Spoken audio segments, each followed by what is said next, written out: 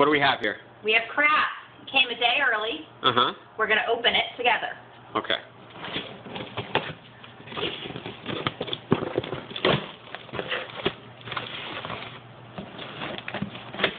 Okay. One piece at a time.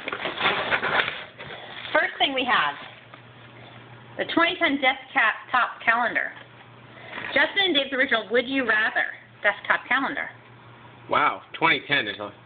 We can use half of this calendar. Oh. Next, we have another 2010 calendar. I know somebody's getting a birthday gift. And guess what? We have one more of the 2010 desk calendars. Wow. Next, digital picture viewer with keychain. Holds up to 100 digital pictures. So it's a keychain. Mhm.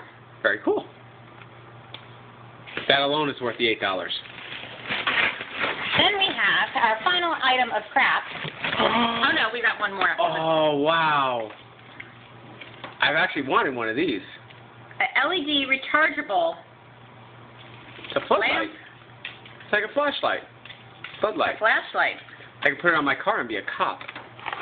And one more piece of crap. Mookie wants to get in on the action. What else do we have? Class. Time for Mookie? My Style Disney accessory case, mix and pick case.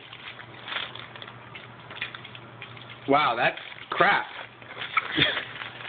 Quite literally. And it's open. So let's take it out. This is hitting on two minutes. Wow, Pirates of the Caribbean. Wow. This will come in handy on our cruise.